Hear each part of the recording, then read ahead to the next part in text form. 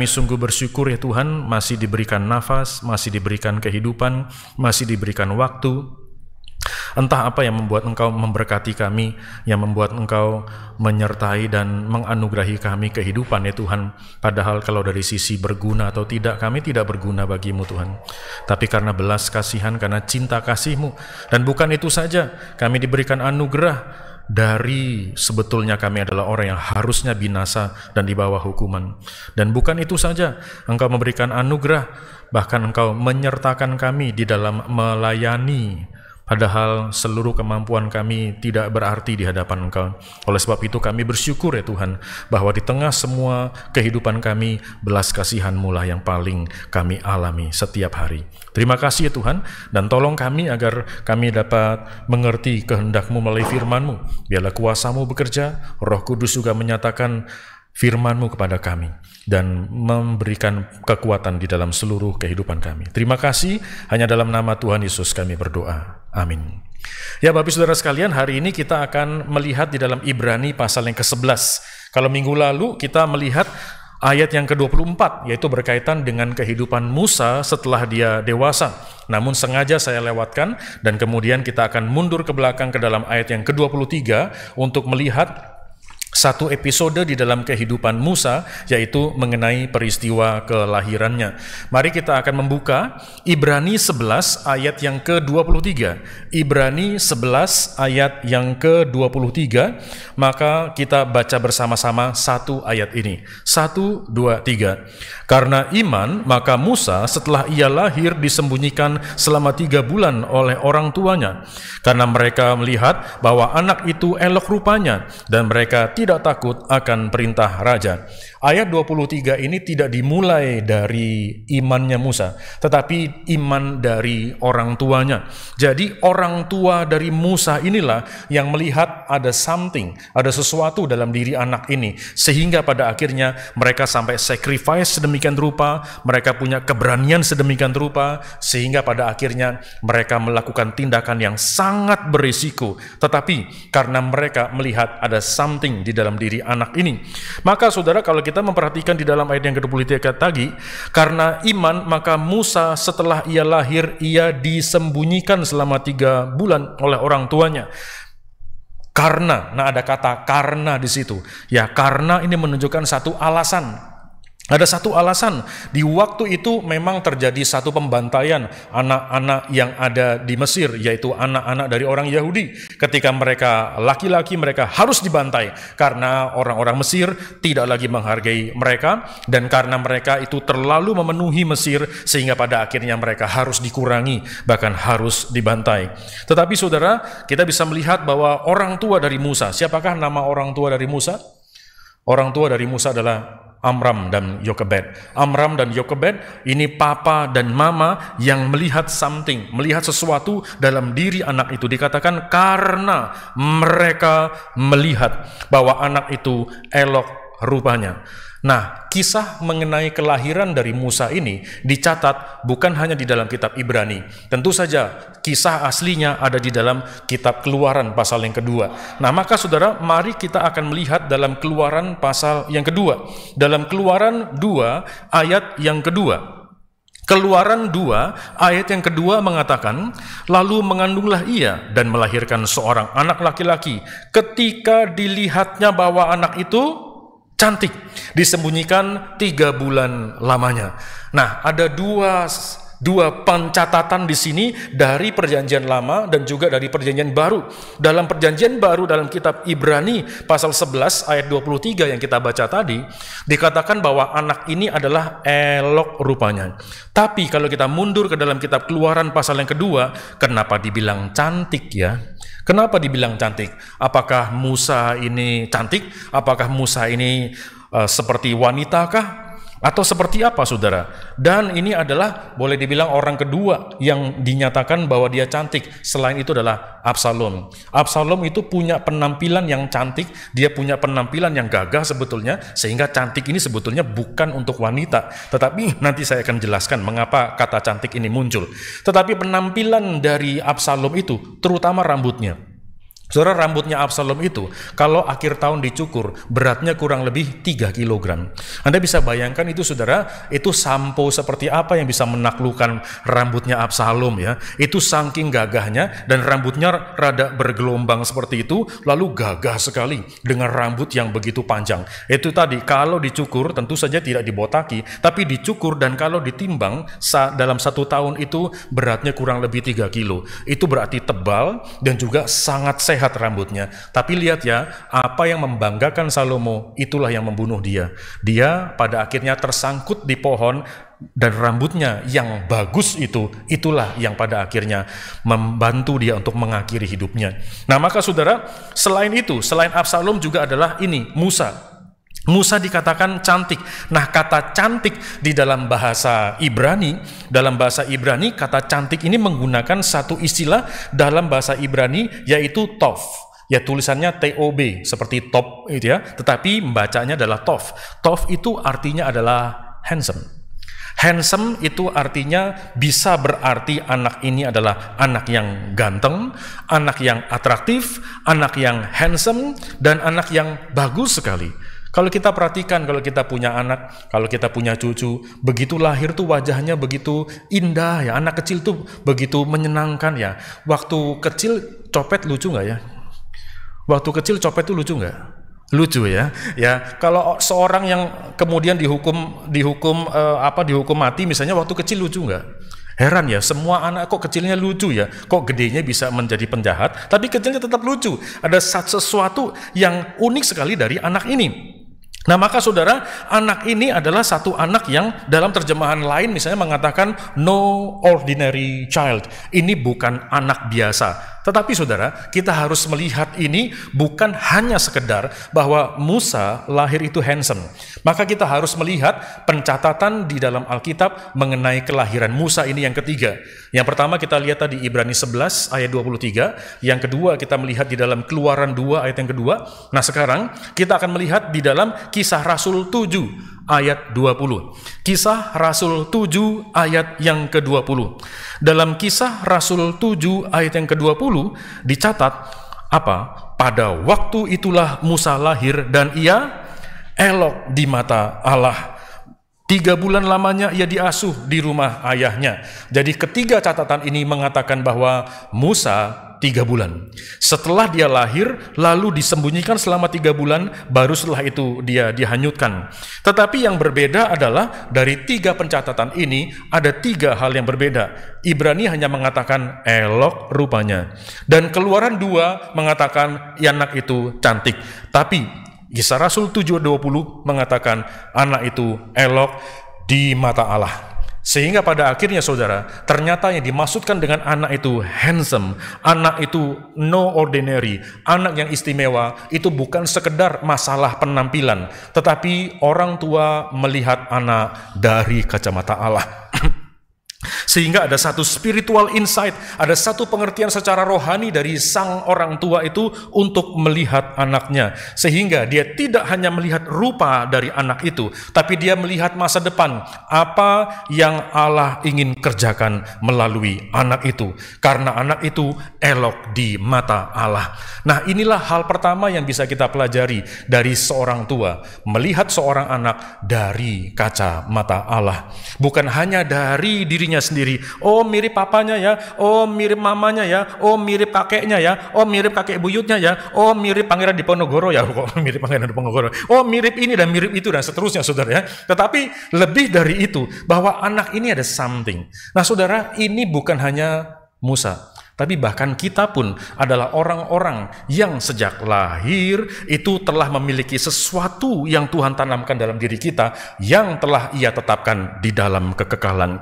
Karena tidak ada satupun dari kita yang lahir kebetulan. Walaupun mungkin katakanlah kita lahir di ayunan misalnya ya, kita tidak pernah lahir kebetulan. Kelahiran kita adalah satu kelahiran yang telah ditetapkan oleh Allah di dalam kekekalan. Tidak pernah ada satu kecelakaan di dalam rencana Allah. Maka kalau ada kebetulan, tidak ada Allah. Tapi kalau ada Allah, tidak ada yang kebetulan. Sehingga kita lahir bukan karena orang tua kita saja, bukan karena orang tua kita menginginkan kita, tetapi karena Tuhan menetapkan Sehingga masing-masing dari kita, dari tahunnya, dari bulannya, dari waktu bahkan jam dan detiknya Allah telah tetapkan kita ada di dalam dunia ini, anak-anak kita ada di dalam dunia ini. Maka saudara, kelahiran kita adalah satu masterpiece dari Allah. Maka kalau hari ini ada sekitar 6 miliar manusia dan sebelumnya sudah berapa miliar manusia, masing-masing dilahirkan ke dalam dunia ini secara unik dan secara spesifik oleh Allah kepada di dalam dunia ini. Tetapi saudara, ternyata tidak semua orang memiliki satu spiritual insight. Tidak semua orang tua itu melihat anak itu dari kacamata Allah. Seringkali bahkan orang tua hanya melihat anak itu dari refleksinya diri sendiri. Sehingga si orang tua menanamkan ambisi-ambisi tertentu kepada si anak yang mungkin tidak sesuai dengan kehendak Tuhan. Sehingga pada akhirnya anak itu tidak berlaku sesuai dengan apa yang Tuhan inginkan. Ingat saudara, bahwa anak kita lahir bukan karena papanya, bukan karena mamanya. Memang melalui papanya, melalui mamanya, tapi karena Tuhan. Dan Tuhan yang sudah menetapkan anak kita untuk lahir ke dalam dunia. Ketika seorang anak manusia, termasuk kita, lahir, kita itu cuma seonggok daging yang bernafas. Betul nggak saudara?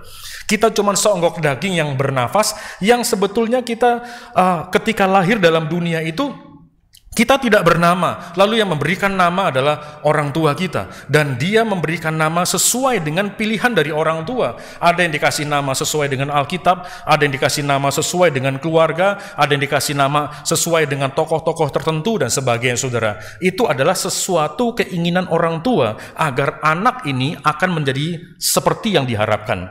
Oleh sebab itu, saudara, biarlah kita mungkin memang memberi nama anak kita sesuai dengan tokoh tertentu, tapi biarlah Tuhan yang membentuk membentuk dia sehingga dia mau jadi apa. Ya, ini adalah sesuai dengan kehendak Tuhan. Karena anak kita adalah anak Tuhan. Itu yang harus kita ingat. Anak kita adalah anak Tuhan. Terutama bagi kita adalah orang-orang yang beriman, orang-orang yang percaya kepada Kristus. Anak kita adalah anak Tuhan. Maka saya kalau misalnya menegur anak saya, saya tidak pernah mengatakan kamu anak hamba Tuhan. Tidak, saudara. Emang kalau misalnya mereka nakal, lalu karena kamu anak hamba Tuhan tidak boleh nakal. Jadi kalau anak bukan hamba Tuhan boleh dong. Bukan saudara, ya mereka tidak boleh karena memang tidak boleh. Bukan karena anak hamba Tuhan, tapi karena anak Tuhan. Dan orang tua itu diberikan satu kepercayaan. Nah besok di dalam WFA kita akan membahas satu bagian dari Amsal pasal yang ke-23 itu berkaitan dengan orang tua. Dan orang tua yang very happy parents, orang tua yang berbahagia itu seperti apa sih? Orang tua adalah satu posisi yang tidak mungkin tergantikan untuk seorang anak. Kita punya orang tua, papa mama kita, itu bukan pilihan kita. Itu penetapan Allah. Kita lahir ke dalam dunia bukan berdasarkan permintaan kita, dan kita punya orang tua dari penetapan Allah. Maafkan mungkin orang tua kita bermasalah, ah, maafkan juga mungkin mereka berpisah, dan juga mungkin ada kekacauan di dalam rumah tangga atau orang tua kita waktu kita kecil. Ya mungkin kita berhadapan dengan situasi seperti itu, tapi tetap itu adalah orang tua kita yang memang Tuhan percayakan dari hasil kombinasi antara papa dan mama ini menghasilkan kita secara unik di hadapan Tuhan. Dan kita juga harus tahu saudara bahwa anak kita adalah unik. Kalau kita memperhatikan contohnya saja di dalam Maliaki 2 ayat yang ke-15. Di dalam Maliaki 2 ayat yang ke-15 Maliaki 2 ayat yang ke-15 dikatakan, Bukankah Allah yang Esa menjadikan mereka daging dan roh? Dan apakah yang dikehendaki kesatuan itu? Keturunan ilahi. Jadi jagalah dirimu dan janganlah orang tidak setia terhadap istri dari masa mudanya. Memang nasihat ini atau teguran dari Maliaki ini kepada orang-orang Israel yang hidupnya sembarangannya luar biasa. Mereka itu kawin dengan siapa pun yang mereka inginkan, tidak peduli dengan iman. Tetapi pada akhirnya apa pun itu yang sudah dirancang oleh Tuhan, hasil pertemuan antara sperma dan sel telur pasti akan menghasilkan seorang anak. Nah, maka ini salah satu masalah dalam dosa seks seksual, saudara, bahwa dosa seksual itu akan menghasilkan keturunan, yang keturunan yang mungkin tidak dididik dengan baik, pada akhirnya akan menghasilkan generasi yang rusak. Kalau kita perhatikan dalam puncak-puncak dosa manusia yang dihukum oleh Allah selalu berkaitan dengan seksualitas. Ya, di dalam dalam kejadian pasal yang ke-6 di situ ada anak-anak Allah atau mungkin itu ada anak orang-orang pembesar memilih wanita semau mereka. Di dalam penghukuman Sodom dan Gomora kita bisa melihat itu ada kasus homoseksualitas. Di dalam mereka nanti masuk ke dalam tembok Yeriko. Di situ juga dalam Imamat 18 dikatakan mereka itu brutal sekali seksualitasnya, sangat brutal. Bahkan juga di dalam Roma pasal yang pertama, Rasul Paulus juga mengatakan mereka itu tidur dengan laki-laki, perempuan dengan perempuan dan seterusnya. Bahkan juga di dalam Imamat 18 juga sudah dikatakan mereka tidur dengan binatang. Itu terjadi di Mesir waktu itu, itu juga terjadi di tanah Kanaan. Sehingga saudara, dosa seksual salah satu penanda dari dari puncak dosa. Ini juga kemarin disampaikan oleh pendeta uh, Tama, Putra Tama mengatakan demikian juga bahwa ada masalah-masalah seperti ini. Nah, oleh sebab itu Saudara, kita harus sangat memperhatikan karena misalnya saja kalau kita narkoba, itu mungkin kita pakai sendiri, ya. Tetapi kalau dosa secara seksual dan itu bisa menghasilkan keturunan, maka bisa menghasilkan anak-anak yang pada akhirnya tidak punya pengertian akan firman Tuhan lalu merusak dan rusaklah satu zaman. Ingat saudara, kalau orang tua tidak bertobat, rusaknya berabad-abad. Perhatikan ya, kalau orang tua tidak bertobat, maka rusaknya berabad-abad. Tahu dari mana? Kita bisa melihat contohnya saja. Anak dari Nuh, ada Sem, Ham, dan Yafet. Ham adalah orang yang tidak takut pada Tuhan. Itu ditandai dengan betapa kurang ajarnya dia ketika melihat ketelanjangan ayahnya malah diumumin ke mana-mana. Sedangkan saudara-saudaranya Sem dan Yafet mundur ke belakang menutupi rasa malu dari papanya yang telanjang itu. Dan setelah Nuh kemudian bangkit dari mabuknya, langsung dia mengutuk Kanaan. Itu berarti bahwa Kanaan adalah anak dari Ham. Itu berarti bahwa Kanaan sudah ada dan saudara mungkin pula Kanaanlah yang membujuk kakeknya itu untuk menjadi mabuk seperti itu. Nah sehingga saudara lihat Kanaan telah memberontak dari Tuhan bukan baru atau hampir Yosua itu masuk ke dalam uh, tanah Kanaan itu, tetapi sudah berabad-abad di era Nuh terus menerus perhatikan orang tua yang tidak bertobat meng itu kerusakannya berabad-abad. Walaupun demikian saudara, Tuhan itu tetap berkasih karunia jika ada satu pertobatan. Oleh sebab itu saudara, orang tua adalah orang yang harus terlebih dahulu bertobat. Orang yang sadar bahwa anak itu adalah keturunan ilahi. Kata keturunan ilahi dalam Maliaki ini tentu saja Maliaki ditulis dalam bahasa Ibrani, yaitu bahasanya Perjanjian Lama.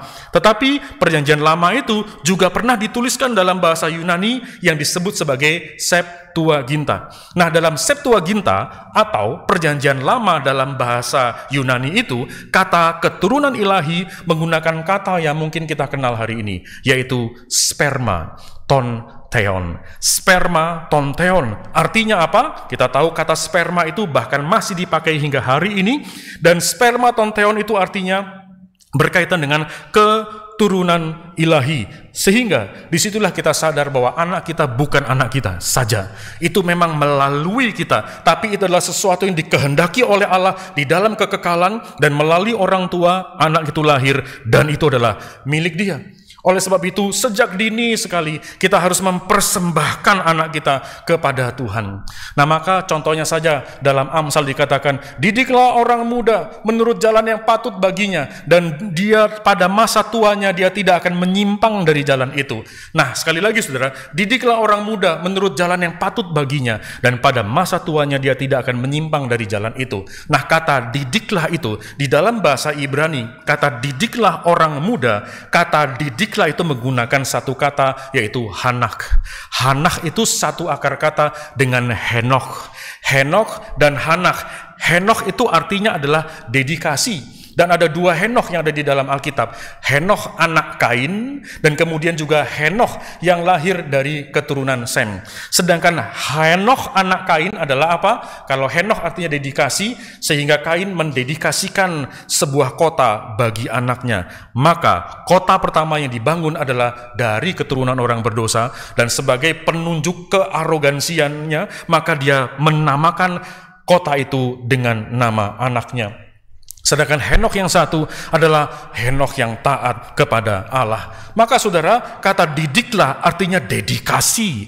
Itu berarti bahwa sejak dini sekali kita harus mendedikasikan anak kita kepada Tuhan. Di dalam gereja kita, anak yang baru lahir dibaptiskan. Karena baptis itu adalah tindakan anugerah Allah melalui seorang hamba Tuhan yang diketahui di depan jemaat untuk menyerahkan anak itu dipersekutukan di dalam nama Allah Tritunggal, Allah Bapa, Allah Anak, dan Allah Roh Kudus. Itulah tujuan dari pembaptisan. Itulah tujuan menyerahkan anak itu. Dan anak itu ketika ada di dalam sebuah gereja adalah anak kita semua. Karena gereja ini adalah ibu kita yang melahirkan anak-anak rohani. Maka setiap orang yang bertobat, yang bertumbuh di tempat ini adalah anak-anak kita. Baik orang dewasa maupun anak kecil. Sehingga anak-anak kecil yang ada di gereja ini adalah anak-anak rohani kita juga. Di bawah kandungan dari gereja ibu kita. Maka saudara, biarlah kita menjadikan ibu kita ini sebagai tempat yang aman untuk melahirkan anak-anak rohani yang terus-menerus, terus-menerus dari gereja ini sampai kapan Tuhan percayakan dan bersyukur jika itu sampai Tuhan kembali kita tetap setia untuk melahirkan anak-anak. Maka saudara, lihat di sini bahwa ini yang bisa kita pelajari dari Amram dan Yokebed bahwa mereka melihat anak itu dari kacamata Allah. Ada satu spiritual insight, ada satu pengertian secara rohani di dalam kepala mereka sehingga pada akhirnya membuat mereka memperlakukan anak itu. Lalu mulai berpikir, wah ini anak dari kacamata Allah, ini begitu eloknya ada maksud ke depan. Maka mereka itu memberikan suatu future kepada Musa melihat ke masa depan. Inilah setelah dia melihat kepada Tuhan, Amran dan Yokebed melihat apa yang Tuhan kehendaki di masa depan bagi anak ini. Nah maka saudara lihat ya, ini iman melihat kepada Allah dan melihat kepada apa yang Allah inginkan di dalam kehidupan mereka. Nah kalau kita mundur ke belakang di dalam keluaran pasal yang kedua, dalam keluaran pasal yang kedua, kita bisa melihat bagaimana iman dari orang tuanya ini. Iman yang membawa anak ini untuk menjadi sesuatu di masa depan karena Tuhan kasih spiritual insight di dalam diri Amlam dan Jokebed. Kalau kita perhatikan saudara, mulai keluaran pasal yang kedua, anak itu lahir. Lalu ayat 2 dikatakan dia itu cantik.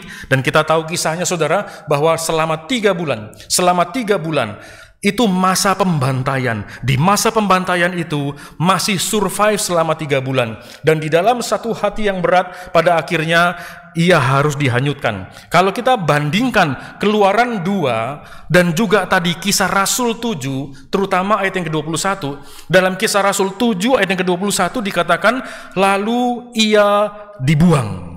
Tapi putri Firaun memungutnya dan menyuruh mengasuh seperti anaknya sendiri.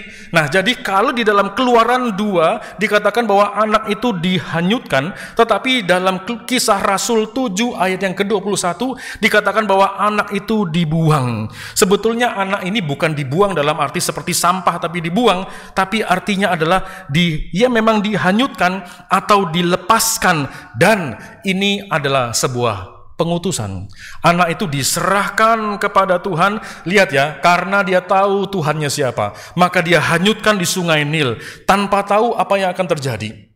Tapi ternyata dilakukan juga. Ini adalah sebuah tindakan iman yang begitu besar dari orang tua ini. Nah, maka saudara, kalau kita memperhatikan kemudian ya di dalam keluaran pasal yang kedua itu kan kita tahu kisahnya bahwa ternyata Musa tidak tinggalkan sendirian. Ada cecenya namanya Miriam yang menjaga bayi ini supaya bayi ini tidak hancur, tidak dimakan binatang dan seterusnya sampai ternyata ditemukan oleh putri, putri Firaun. Dan setelah itu kemudian dia dia mengatakan bahwa putri Firaun ya ini boleh anak ini disusukan oleh seorang inang pengasuh yang padahal ada mamanya sendiri. Dan kalau kita perhatikan kemudian di dalam Keluaran 2 ayat yang ke-10 dikatakan bahwa setelah anak itu besar setelah anak itu besar, baru kemudian dikembalikan kepada putri Firaun. Nah kalau begitu sebesar apa saudara? Sebesar apa? Tidak tahu saudara umur berapa dia dikembalikan kepada putri Firaun ini. Tapi hanya disebutkan setelah dia besar. Nah anak itu dikatakan sebagai anak bukan lagi bayi. Dia bukan lagi bayi tapi disebut sebagai anak. Mirip ya seperti Yesus. Waktu Yesus dikunjungi orang Majus, sekali lagi, waktu Yesus dikunjungi orang Majus, waktu itu dibilang bahwa anak itu ya tidak lagi disebut sebagai bayi, anak. Yang kedua, bahwa dia ada di sebuah rumah, bukan di kandang. Dan yang ketiga, kenapa Herodes suruh bunuh anak di bawah dua tahun ya? Kalau memang Yesus baru lahir malam itu, bunuh aja yang malam itu. Kenapa harus di bawah dua tahun? Nah itu berarti ada spare waktu antara waktu Yesus lahir dan di situ gembala datang dan kemudian juga orang majus datang. Nah sekali lagi, waktu orang majus datang, Yesus dibilang sudah besar. Anak, bukan lagi bayi. Kedua, di sebuah rumah. Dan yang ketiga, yang dibunuh oleh Herodes adalah anak di bawah dua tahun. Maka kemungkinan Yesus sudah kurang lebih dua tahun ketika dikunjungi oleh orang majus. Dan maka saudara, gembala hadir di kandang, orang majus lahir di sebuah rumah. Tapi sering kali demi efisiensi di drama Natal orang majus datang ke kandang ya. Nah maka itu bisa menyesatkan sejarah saudara. Oleh sebab itu jangan suruh orang majus ke kandang karena dia nggak tahu kandang di mana.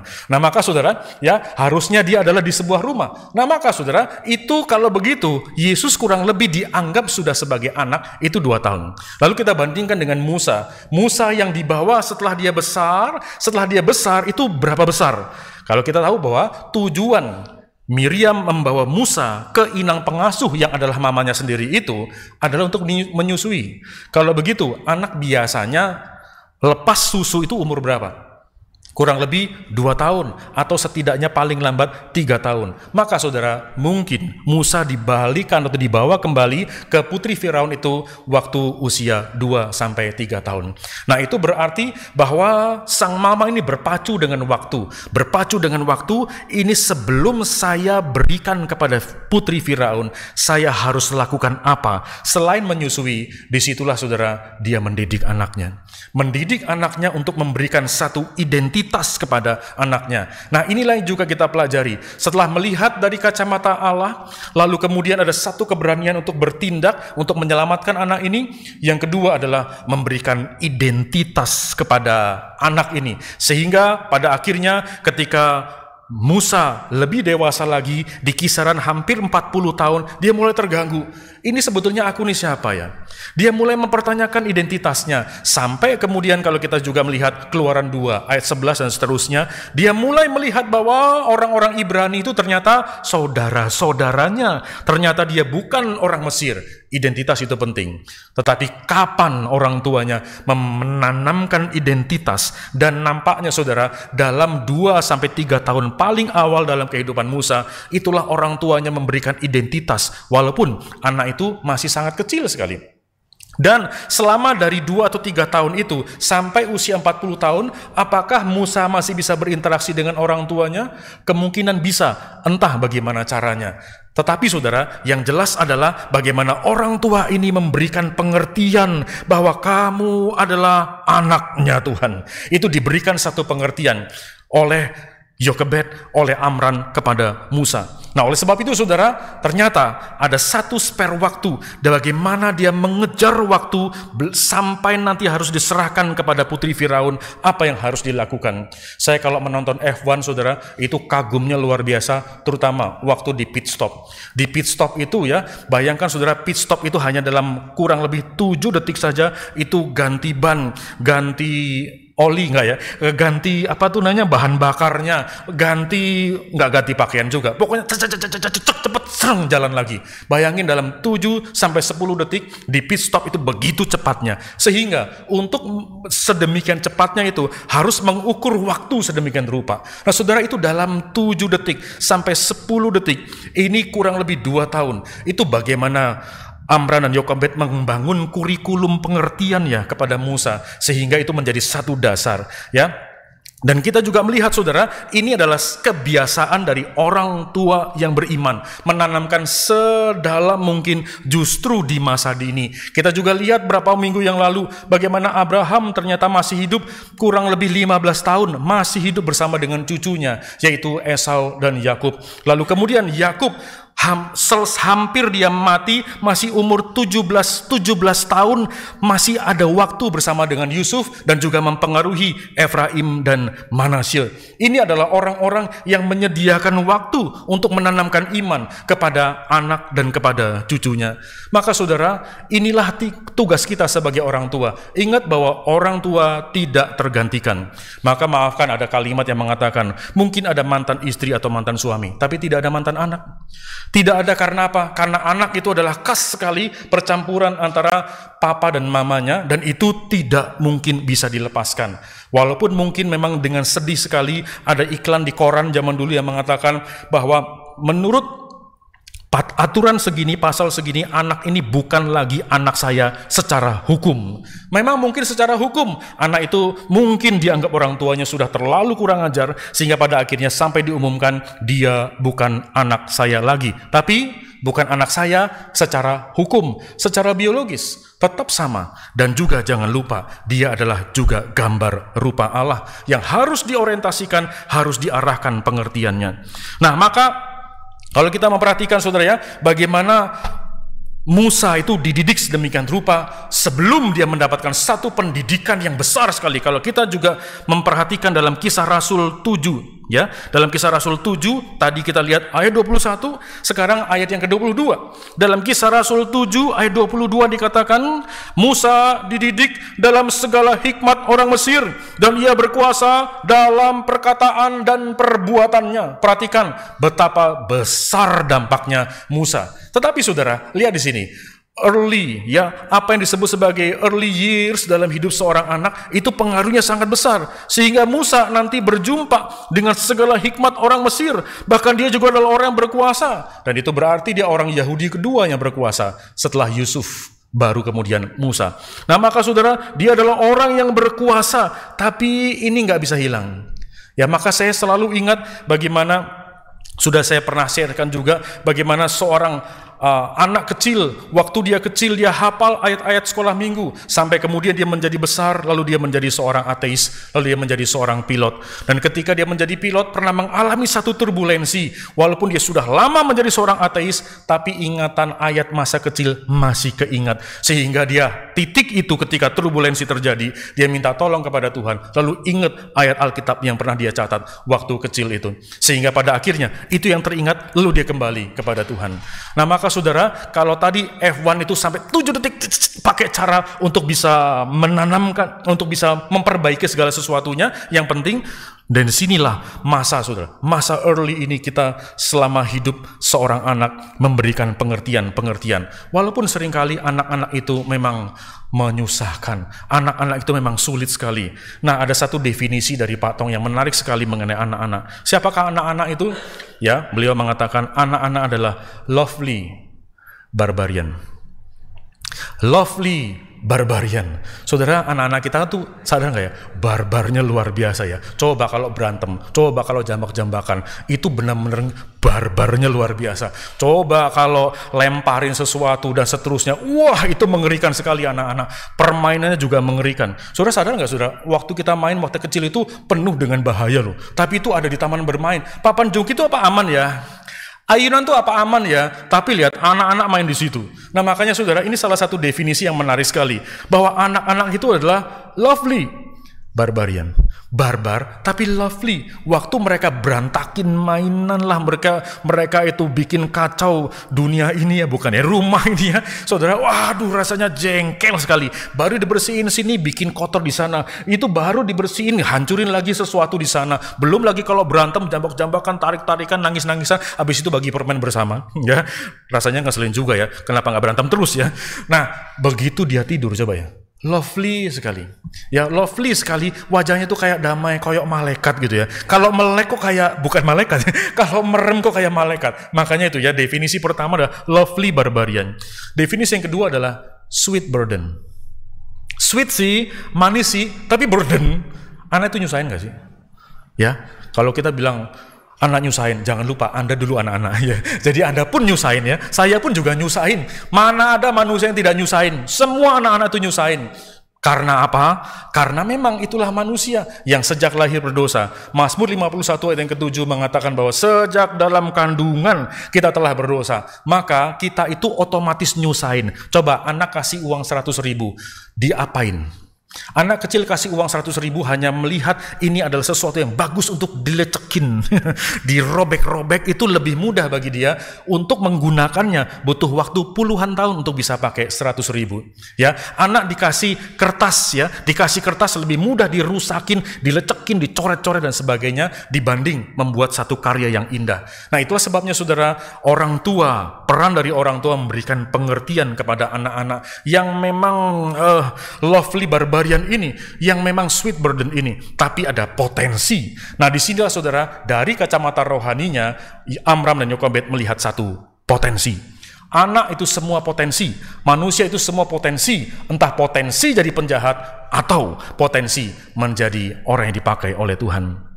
Nah, oleh sebab itu saudara, lihat sekali lagi bahwa dia melihat dari kacamata Allah. Yang kedua pada akhirnya memberikan memberikan satu identitas. Kalau dia mengerti bahwa identitasnya adalah manusia yang dicipta segambar serupa dengan Allah, maka itu akan matang di dalam dirinya sehingga dia tidak akan menyimpang dari jalan itu. Ingat Amsal tadi bahwa didiklah orang muda menurut jalan yang patut baginya dan pada masa tuanya, dia tidak akan menyimpang dari jalan itu. Ini adalah satu dalil, ini adalah satu prinsip yang sangat penting. Walaupun di tengah-tengah itu semua saudara akan terjadi satu satu turbulensi dalam hati anak kita. Anak kita akan berhadapan dengan kultur yang berbeda, akan berhadapan dengan budaya, dengan dengan kebiasaan yang berbeda, dengan yang disebut sebagai uh, apa informasi yang berbeda-beda.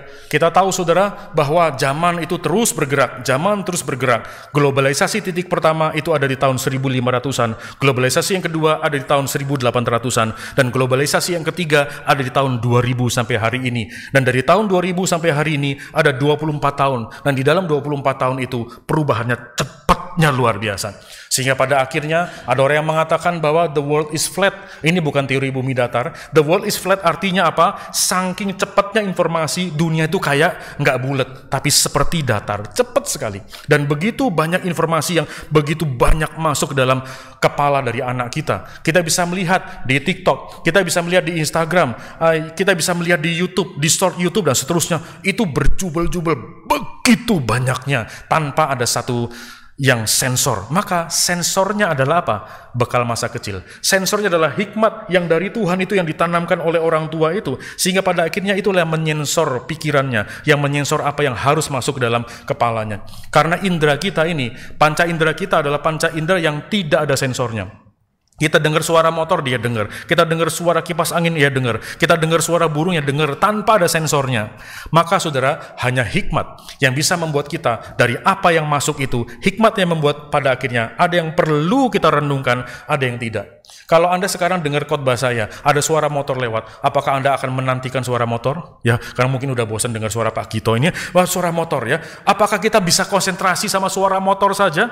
Ya, apakah kita mau memasukkan ke dalam kepala kita? Nah, makanya kepada anak-anak muda saya sampaikan, jangan izinkan sesuatu yang tidak berguna masuk dalam kepalamu. Karena apa? Karena kapasitas berpikir kita itu memang luas sekali, tapi terbatas. Dan apa yang berguna, yang menggerakkan hidup kita kita, itulah yang layak dimasukkan ke dalam kepalamu. Sehingga pada akhirnya hikmat dari Tuhan itulah yang membimbing kita untuk menolak apa yang tidak perlu, apa yang jahat, apa yang buang. Maka Rasul Paulus juga mengatakan ya bahwa apa yang manis, apa yang sedap didengar, itu pikirkanlah semua itu. Juga dalam kitab Galatia Rasul Paulus mengatakan pikirlah perkara yang di atas Ya, pikirlah perkara yang di atas dan apa yang perlu bagi hidup kita dan setelah itu jangan izinkan masuk.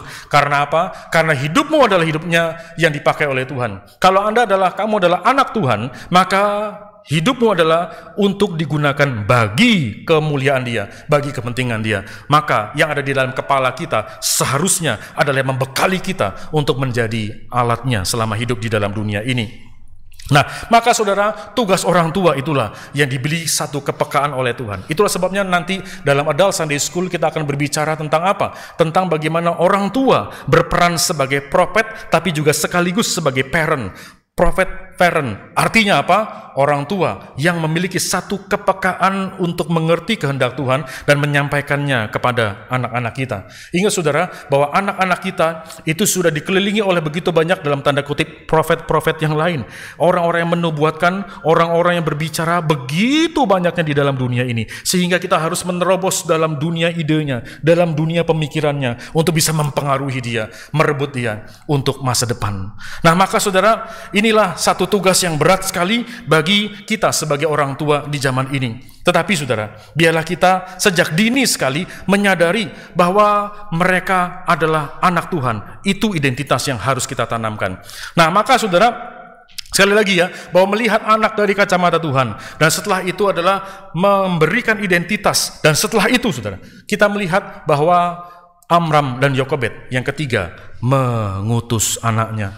Sudah dua kali Amram dan Yozekebet itu mengutus anaknya. Yang pertama adalah apa? Yang pertama adalah ketika dihanyutkan. Dan yang kedua, ketika umur kurang lebih dua atau tiga tahun diserahkan. Maka saudara, inilah salah satu tugas, bahkan mungkin tugas yang paling berat dari orang tua, melepaskan anak.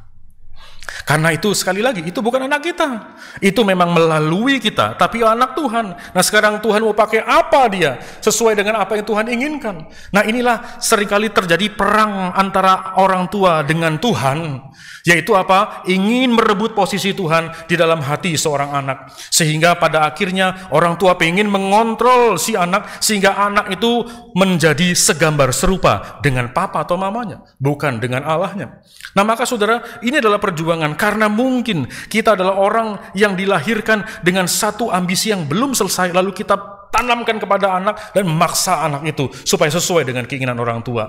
Kalau yang dipaksa itu baik, kalau tidak, maka saudara bukankah orang tua selalu ada di dalam antara memaksa dan juga melepaskan. Kadang-kadang kita melepaskan apa yang harusnya dipaksa, memaksa apa yang harusnya dilepaskan. Nah, ini butuh hikmat, ini butuh kebijaksanaan, dan itulah sebabnya juga mengapa orang tua itu harus belajar. Orang tua juga harus bertumbuh, orang tua harus mengerti apa yang menjadi kehendak Tuhan. Itulah sebabnya mengapa ada sema, itu ya, prophet parent, ada satu ada satu karunia uh, fungsi kenabian yang harus terjadi pada orang tua sehingga pada akhirnya orang tua mengerti apa yang harus diajarkan kepada anak. Dan orang tua harus mengajarkannya terus menerus terus menerus terus menerus secara berulang-ulang.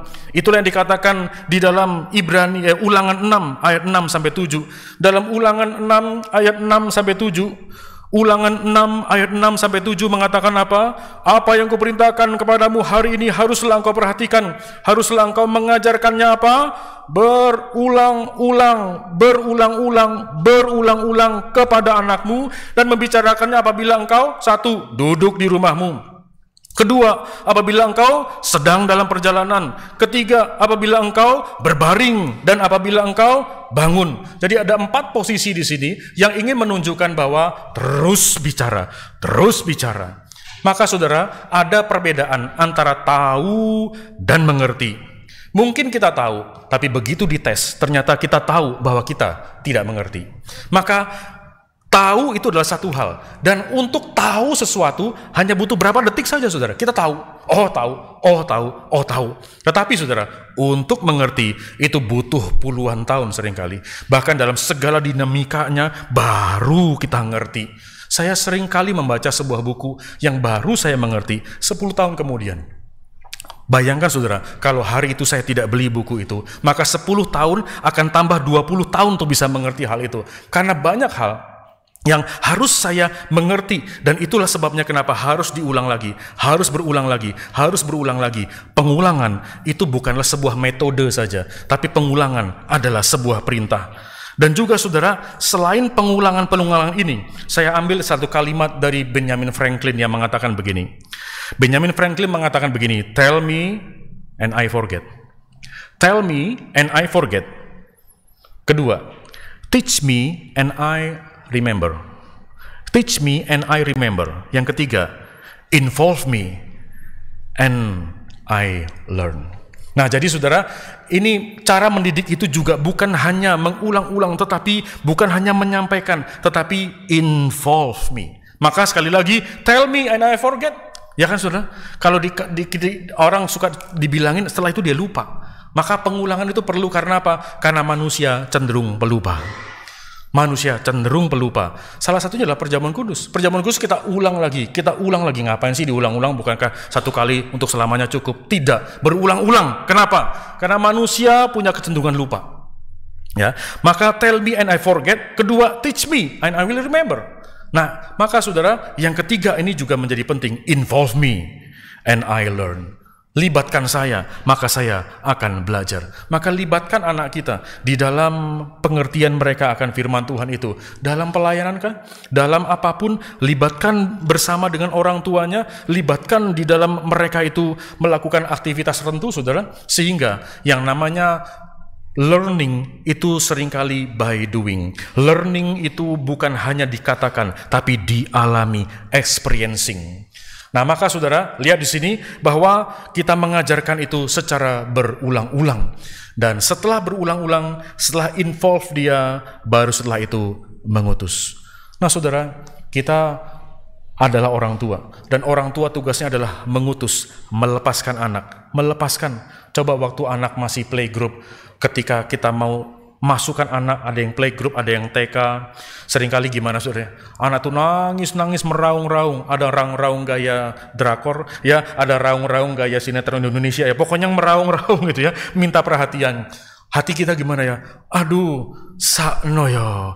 Aduh, sakno yo. Tapi saudara, kalau kita tidak belajar tega melepaskan, maka anak itu tidak bisa dewasa. Maka memang harus ulang lagi, lepasin lagi, besok nangis lagi, nangis lagi dan seterusnya. Terpaksa harus kita lepaskan karena anak kita adalah anaknya Tuhan yang mau dipakai oleh Tuhan. Maka biarlah Tuhan yang membentuk dia melalui sekolah, melalui gereja dan seterusnya.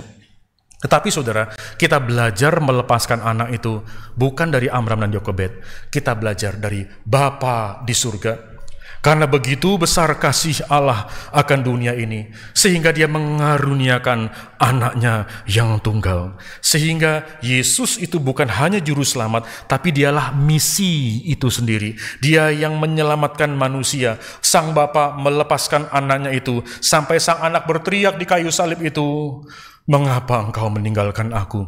Dia berteriak, Allahku, Allahku, untuk mewakili manusia yang harusnya binasa itu. Dia berteriak, mengapa engkau meninggalkan aku? Sampai segitunya. Karena apa? Karena Allah mengasihi dunia ini. Dan dia mengasihi dunia ini melalui anaknya yang tunggal. Saudara, itulah satu pembelajaran yang paling utama bagaimana seperti orang tua yang melepaskan anaknya agar anaknya dipakai oleh Tuhan. Biarlah anak-anak kita dipakai oleh Tuhan sebebas Tuhan memakai mereka. Apakah mereka dipakai dalam dunia musika, mungkin juga di dalam dunia ekonomika, dalam dunia bisniskah, dalam dunia apa pun itu saudara. Tetapi juga jika memang memanggil, Tuhan memanggil anak kita untuk secara khusus menjadi anak, anak hamba Tuhan. Menjadi seorang hamba Tuhan, jangan tahan-tahan. Serahkan sungguh-sungguh anak kita kepada Tuhan. Agar Tuhan memakai dia sebebas sesuai dengan keinginan Tuhan kepada anak tersebut. Mari kita berdoa. Bapa di surga, terima kasih bahwa kami mendapatkan satu teladan yang paling utama bukan dari Amram dan Jokebed, tapi yang paling utama adalah dari Engkau sendiri. Allah Tritunggal dan di dalam belas kasihan yang besar kepada dunia ini Bapa mengutus anaknya yang tunggal dan anaknya yang tunggal pada akhirnya melakukan karya keselamatan maka ya Tuhan seperti Amram dan Yokobed yang melepaskan sang anak itu untuk dipakai oleh Tuhan, biarlah kami juga merelakan anak kami untuk engkau pakai sesuai dengan kehendakmu Tuhan, sesuai dengan apa yang kau nyatakan dalam anak itu. Berilah kepekaan kepada mereka dan terlebih dahulu kepekaan kepada kami untuk bisa mengerti apa yang kau kehendaki bagi anak kami ya Tuhan. Dan ampunilah kami kalau kami menjadi ilah bagi anak-anak kami sehingga pada akhirnya mereka terikat dengan kami bukan dengan engkau. Tolong ya Tuhan, tolong agar anak-anak kami yang adalah anakmu, engkau pakai sesuai dengan kehendakmu Tuhan. Sungguh-sungguh, karena itu salah satu hal yang berat sebagai orang tua yang tidak merelakan anak-anak kami untuk engkau pakai. Oleh sebab itu ya Tuhan, bentuklah anak kami sesuai dengan kehendakmu, pakailah dia sesuai dengan kehendakmu, dan biarlah anak ini menjadi berkat di masa depan ketika kami sudah tiada. Ya Tuhan, Biarlah Engkau memakai keluarga kami, anak-anak kami, cucu-cucu kami, agar mereka menjadi anak-anak yang takut akan Tuhan dan menyatakan kebenaran-Mu terus-menerus berabad-abad dalam kehidupan gerejamu. Terima kasih Tuhan. Hanya dalam nama Tuhan Yesus kami berdoa. Amin.